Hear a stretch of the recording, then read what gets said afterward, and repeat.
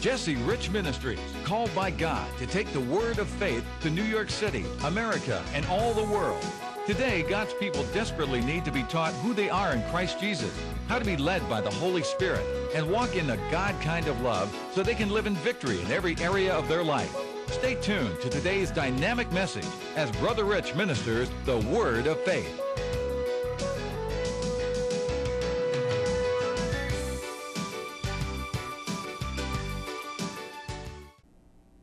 Hey, praise the Lord. I'm Pastor Jesse Rich. So honored and delighted you tuned in today.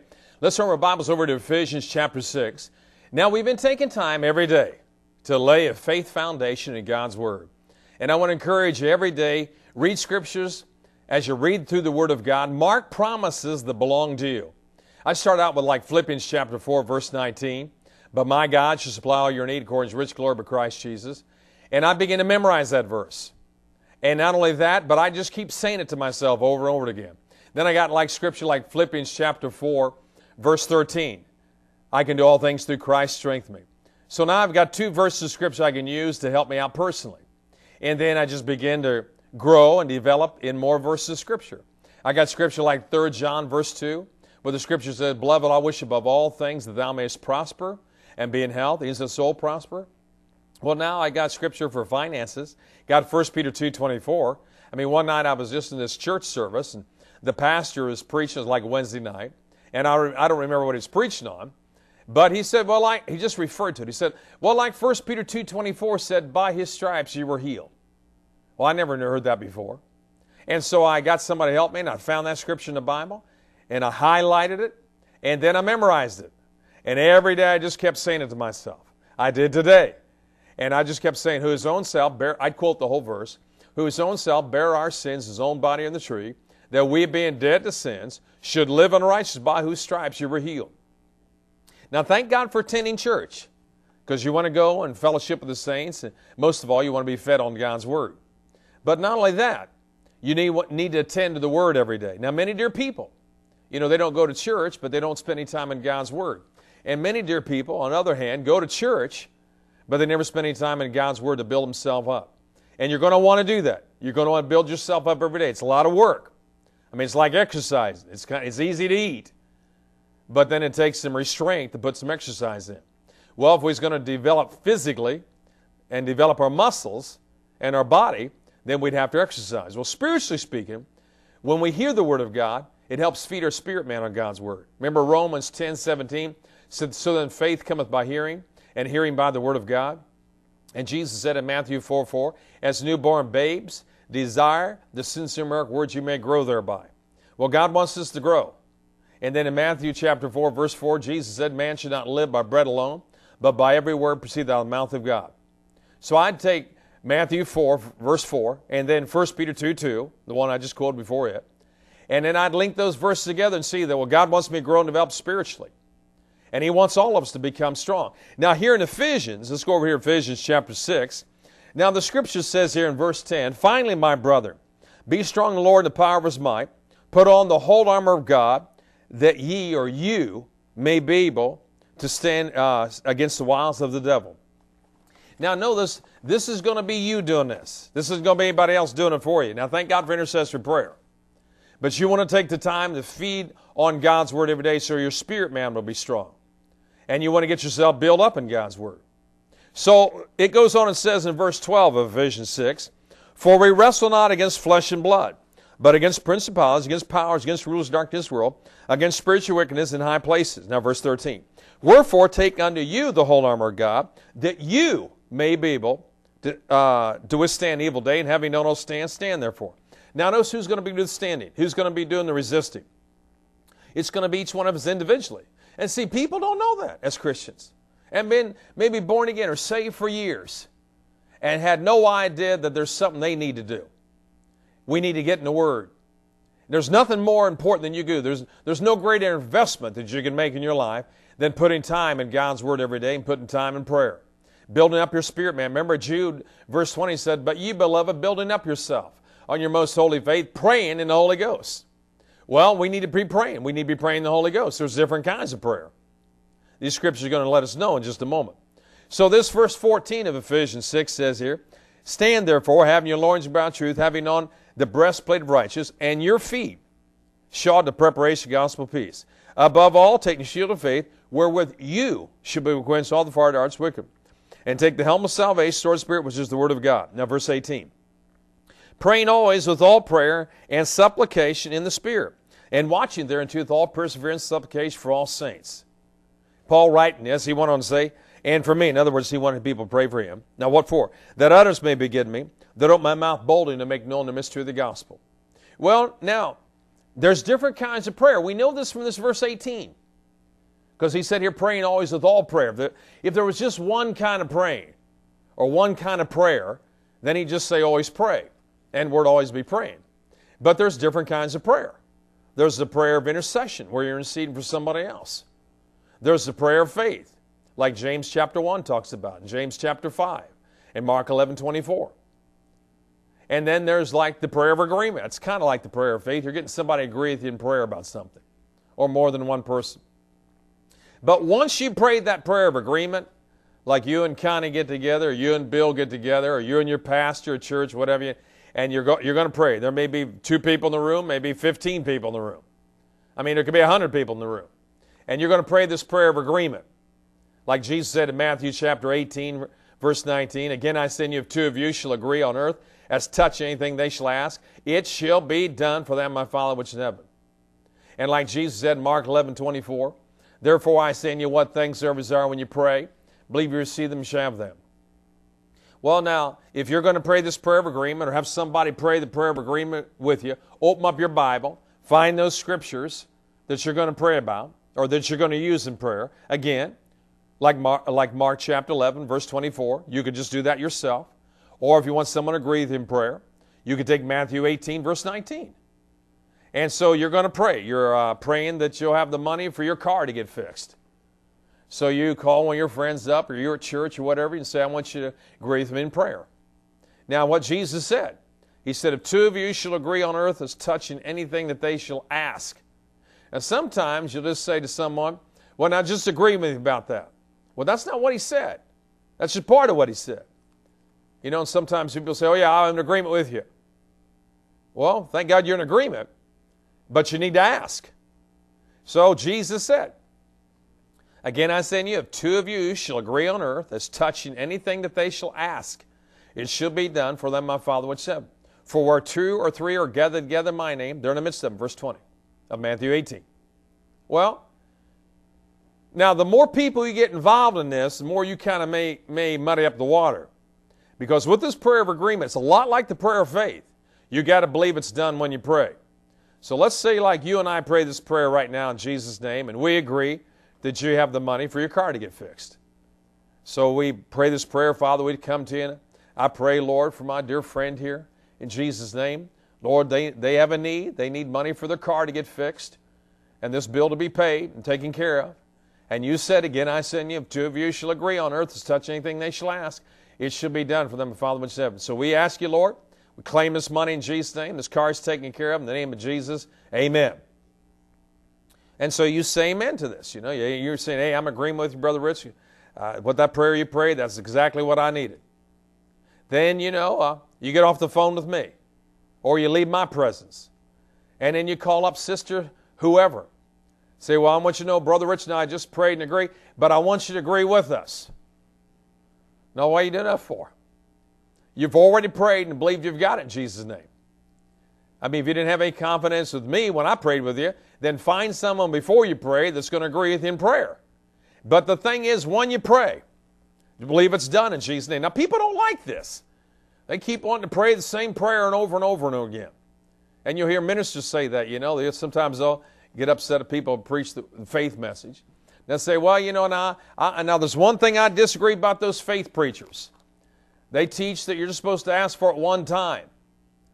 But I believe you should keep on asking. They'll quote, you know, maybe from Matthew 11 or Matthew 18 about the unjust judge. And I think, well, now, I believe you should keep on asking. Well, what would you do with salvation if you had someone like that?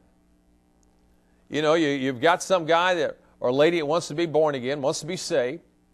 How many times would you pray the sinner's prayer with them for them to get saved? Maybe every day, maybe several times a day, oh, God save me. I believe Jesus my Lord and Savior. Ask me to come to my heart. Jesus save me from all my sins. I believe you're Lord. I confess you my Lord. Then do this again, then do it again, then do it again, then do it. How many times would you want to pray that salvation? Because you see, you don't realize this, but if you don't do it in faith, it can be sin. Anything that's not of faith, the scripture said in Romans 14, verse 23, is sin. So sometimes people keep vain, praying vain repetitions because they don't believe God heard them when they prayed. And God's going to require for you as a believer. Now, those people in Luke 11, and you know, Luke 18, or excuse me, Matthew, yeah, Luke, I got it right. Luke chapter 11 and Luke chapter 18 about the unjust judge and the man that came to the man at midnight, you know, because some he had friends came and needed food. Well, now see, now you got to realize, first of all, they weren't born again. And that's not being taught that way in the New Testament. Now, I'm not saying, you know, God didn't answer pre- people's prayers because they kept on asking, asking, and asking. But as you grow and develop spiritually, you're going to learn to cooperate with God's Word, go with the Word. And when you pray this prayer of faith, you pray this prayer of agreement, before you go into it, just say, now, am I going to believe that I receive it when I pray? I mean, I had this Bible study I did for a few years, maybe three or four or less. And every week I did it, unless I had to preach someone else. And so I'm teaching them the faith message over every week. See, I think it was on Thursday night. Well, one night I came in, I brought this test, and I had like, I don't know, maybe 20 questions on this piece of paper. I had it copied off and passed it out there. I told them put the date on there and name it, or their name on there. And uh, you could use your Bible you wanted to. And these are the questions. Here they are. Well, now, most of them pretty shocked about this. They didn't mind coming to Bible study, but they weren't expecting a test. But you can stop and think about. Is everything you believe in God's Word going to be tested by Satan? So, uh, one of the questions was, was Mark 11, 24. I said the question was, what did Jesus say that you'd get in verse 24? I don't know. There may be 30, 35 people in that Bible study. Maybe not every week, but there was a you know nice turnout. Maybe not that many, but anyway, you understand. So, uh, do you know not one person got that question right, and yet they'd heard me at least in that Bible study for three or four years teach on it. Plus, they listened to my radio program. Plus, they came to other meetings they came to. Maybe not every single one of them, but they, they've heard some word. They've heard Mark 11, 23, and 24 for a long time. Heard them many times. And not one of them got it right. Now, they just assumed that they knew what that verse said. Some of them had it memorized. And that's good. We should memorize the verse. You, you want to be a quote. Jesus had it memorized. He's able to quote in Matthew 4 and Luke 4 what the written word said to Satan and back Satan down, cause Satan to leave. So I said, Now, what did Jesus say you'd get? Now, most people said he, he said you'd get your desires or you get what you pray for. But that's not what Jesus said. See, we, we think we know verses, and that can be dangerous to us. Every verse of Scripture that we've got memorized, there's still revelation knowledge in that verse that we don't know about yet. Like John 3.16. For God so loved the world, He gave His only begotten Son, that whosoever believeth in him shall not perish, but have everlasting life. Well, just because you and I could quote that, doesn't necessarily mean that we know that's all that's in it. Well, I mean, we never know what's all in this life. We'll never know what's all in every verse of Scripture. Even though we've heard it for years, even though we've quoted it, even though we can quote it, even though we've got it memorized, even though we think we know it from front to cover. No, we want to stay teachable, don't we? Well, now, some people put down that Jesus said you get your desires. Some people put down you'd get what you prayed for. Some people put down you get all the things you asked for in prayer. But Jesus said now, now listen to what he said, Mark 11, 24. Follow along. Therefore I say unto you, what things soever you desire, when you pray, believe that you receive them, and you shall have them. Well, now these people thought they knew this. See, they, oh, I know Mark 11, 24. And see, I knew this is going on. So I got to show it to them that they don't know. That's my job as a minister, as a teacher, you know, bring them back into reality here. They're not going to like it, but you know they'll get over it if their heart's right. See, part of the job as a ministry is reprove, rebuke, and exhort with all long suffering. You know, a lot of times people don't want to be rebuked. I've had the Lord deal with me and say, now you got to tell them whatever I did go tell them. Now, if their heart's right, son, they'll come back. But if their heart's not right and they don't want to submit, then they won't come back. Well, you know, he'd let me know ahead of time. Now, you go ahead and tell them they're not going to come back, but you go ahead and tell them anyway. Well, now people don't like to be corrected, but the Lord chastises us with His Word, doesn't He? And part of again, part of the the part of the ministry that you have to do as a minister is not only preach the Word in season out, but you also have to reprove, rebuke, exhort with all long suffering. Well, now they're not going to like this, but still, it's important that I do my job as a, as a minister of the gospel. See, these people are off; they need to be corrected. Now, they, if you'd have told them this, they'd have, if you'd have gave them the answer up front, they'd have, oh yeah, I knew that. So I had them turn their papers in, you know, and let them know this is this this is where you messed up on this. They missed the other questions too, but you think this is real simple, and you see people think, oh, I know about prayer. Do you? I mean, I thought I knew some about prayer when I got born again, filled the Holy Spirit, speaking in tongues. And a guy came up to me one day at the airport and said, Jesse, do you know how to pray? Now, he insulted me. He offended me when he said that. I got upset. I didn't say anything. But you know, you'll, you'll try to hide it.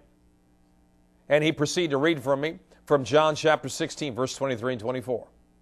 Now, up until this time, I'd pray to God and I'd pray Jesus and I'd pray the Holy Spirit and then start all over. I'm, I'm trying to get some help here. Well, now God knows that.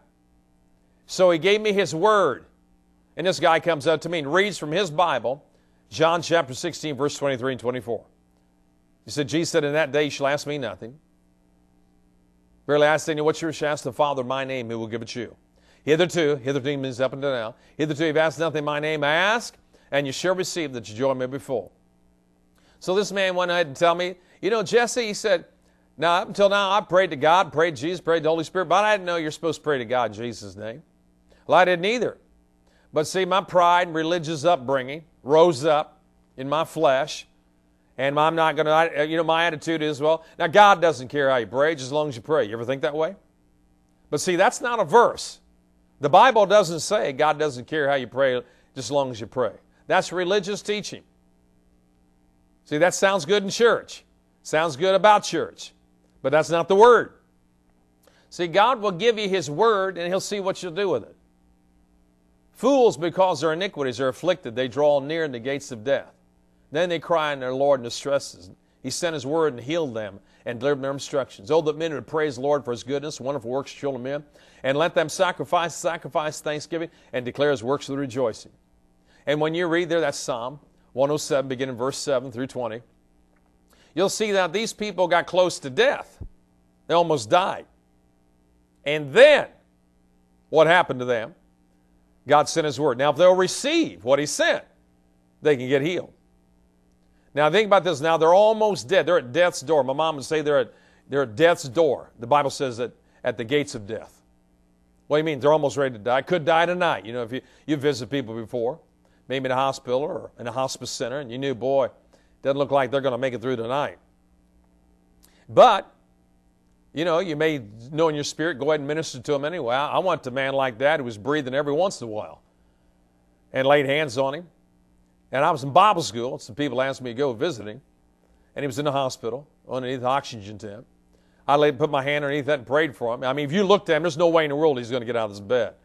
He's been in his 70s, never been saved, lived across the street from a church. First, it was a Nazarene church that owned the building. He lived across the, and I think he was born in that house and grew up in. So now he's like 77 years old. And in those all those years, they told me, the church told me, he'd never been to church. The Nazarene people that believed in the new birth said to the new the people that bought the church from them, which is Pentecostal people, said, Now, we've tried to get Mr. So and so saved. In all the years we've had the church across the street, he's never came. He'd watch summertime, he'd sit on the porch and watch us go to church. So the Pentecostal people that bought the church, they worked on him. Never got him come on time. Well, the ministers were out of town, and they called me up. I was in Bible school, and I just came back to my hometown to visit for a few days. One of the breaks, like spring break or something. And they said, Would you go visit him in the hospital? They, they don't expect him to live through the night. Boy, I went and saw him. He ain't going, you know, the natural, I'm thinking he ain't going to live through the night. I've seen, you know, when I was in the hospital as a teenager, five guys died in the bed next to me. And you kind of learn after a while, you can tell, yeah, this ain't one, this one ain't going to make it through the night. You know, I'd ask the nurse, is it, you think this person's going to make it through the night? No. Well, so I put my hand in that tent, eh, or that oxygen tent, and laid hands on him, prayed for him. And I saw, I knew about the Spirit of God in my spirit. This guy's leaving this hospital healed and whole. And he's going to get saved. Well, I, you know, I left. If you went by the natural, see, it looks like you're totally wrong. Because he's breathing like every once in a while. He, and then he quit. They think, well, that's it. And then he exhaled. But another guy I once seen in the hospital, he was like in his 40s, real sharp looking guy, and he'd had a heart attack. He was in the emergency room. The same church asked me to go visit him. And when I walked into his room, I knew by the Spirit of God in my heart, he ain't leaving this hospital. He's dead. So I started talking about Jesus and see if he'd get him to receive him as Lord and Savior. He blew me off, told me it was nice. I came and visited him, appreciated the church, send me out here. And uh, you know, thanks for coming by, but I'm okay. And he kept cutting me off and interrupting me. Well, I left. I felt so dejected. I thought, oh, he's going to die and go to hell. Because I knew in my spirit this guy's not getting healed. Now, he looked okay. You know, he's just a little bit light colored skin. You know, he was, he'd been a dark skinned person, you know, like Italian looking, you know. And, uh, but looked like, you know, it was kind of pale, pasty looking. But, you know, you do, that's probably going to come back. Well, then a few days later, I went back to see him before I went back to Bible school. He's sitting up in bed. Now he's got a room he's in. They're getting ready to dismiss him from the hospital. He's waiting for his wife to bring his clothes. And when I went in his room, there was like two, there was three nurses room. A couple of them was sitting on his bed. He's a real ladies' man. And they're all in there, you know, having a good time, having a little party, flirting with one another. And he tells me, Preach is good. You stop by and see me. I'm okay. And they looked real sharp. All his color came back. But I looked at him, by the Spirit of God, I knew in my heart, he, he's not leaving this hospital, he's dead. So I said, Mr. So and so, now such and such church sent me by to see you. And they wanted me to come by and tell you about Jesus, tell you about if you know the Lord. Oh, he says, I got that all taken care of. He cut him off. Now he said, I appreciate what you're doing.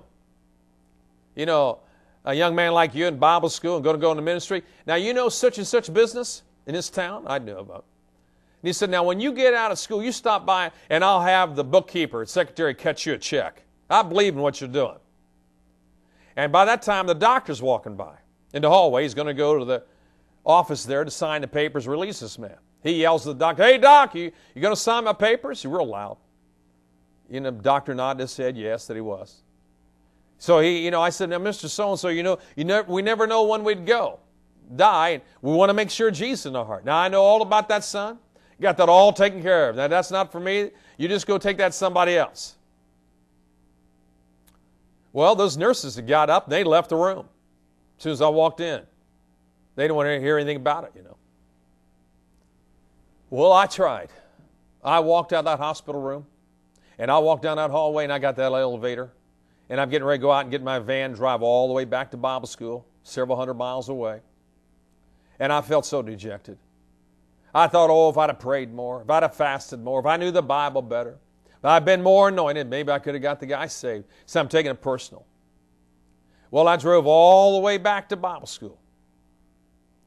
And that church called me and said, Now, Brother Rich, I want to tell you something. You know that man was 77 years old? You know God healed him after you went and prayed for him? He came to, came to our church Sunday, got born again. Never been to church in 77 years, according to them according to what he said. But that dear man, Mr. So and so, you went and saw him. They said the nurses called the hospital or called the uh, church office. Said there was a young fellow came here from your church to minister to Mr. So and so. And that Bible school student walked out of his room, walked down the hallway. No sooner got on the elevator than Mr. So and so dropped over dead with a massive heart attack. They did code blue on him, you know, get all the doctors to come try to revive him. Couldn't revive him. We just want you in the church to know we appreciate you sending someone to minister to him. Well, now you see, now, one, if you went by what you saw in the natural, he ain't going to come out. The other one, he looked okay, you know, looked like he's just going through a little problem, but he'd be okay. Well, the 77 year old man, he didn't look like no way in the world is going to come out of here. The other guy, you know, he's in his 40s. Looks like the doctor's going to be able to help him. He's going to be able to come out. But yet, in my spirit, I knew the 77 year old man, he's going to get saved. He's going to get healed and get saved. This man ain't leaving the hospital, this other man in his 40s. And God was right on both of them. But I tried to minister to him anyway. Tried to give him the word. But see, he knew so much. And see, he dropped over dead. See, he's in hell now. Like the rich man died in hell and lifted up his eyes, seen Abraham afar off in Lazarus' bosom. You don't want to go to hell. And all of us are just one breath, one heartbeat away from eternity. We're not going to live forever. No matter how long. We live to be 120 years old. We're not living. That's nothing compared to eternity. You have Jesus Christ, your Lord and Savior. So you're not a Christian, you're not born again because you go to church or because you're a church member. See, that was a shock to me to find that out. Or because you believe in the Bible, or because you believe in God, or because you've taken communion, or because you've kept the commandments, or because, or you think you have, or because you know you believe in Jesus, or because you pray to Mary, or whoever. See, good, good. You, you having communion. Good to you. You know, you go to church. But see, water baptism doesn't recreate you in Christ Jesus. Romans chapter 10, verse 9 and 10. And these verses shocked me when someone told me about them because I went to church. Said, Thou shalt confess thy mouth the Lord Jesus and believe in the heart God has raised him dead, thou shalt be saved. For at the heart man believeth righteous, and with the mouth confession made unto salvation. Verse 13 of Romans 10 says, if you confess me before me, Jesus said in Matthew 10, 10, 10 32, if you confess me before men, I'll confess you before my Father. Who's, verse 13 now of Romans 10, whosoever calleth upon him the Lord shall be saved. Have you done that? Have you called upon the Lord? Have you asked Jesus in your heart? That's the most important thing you can do in life. See, thank God for going to church, but it doesn't save you. You're going to have to receive Jesus Christ, your Lord and Savior. Now, if you like likewise, when I first heard that, I didn't like that. That offended me.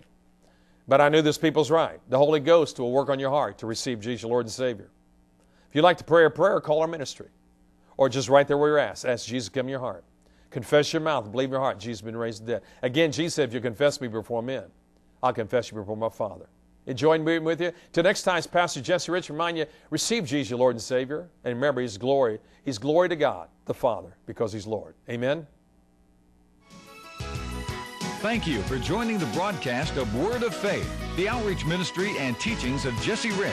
If you'd like for Brother Rich to agree with you in prayer or to receive a copy of today's program or additional teaching materials, contact Jesse Rich Ministries, Post Office Box 237-170, New York, New York 10023. Visit our website at www.jesserichministries.com.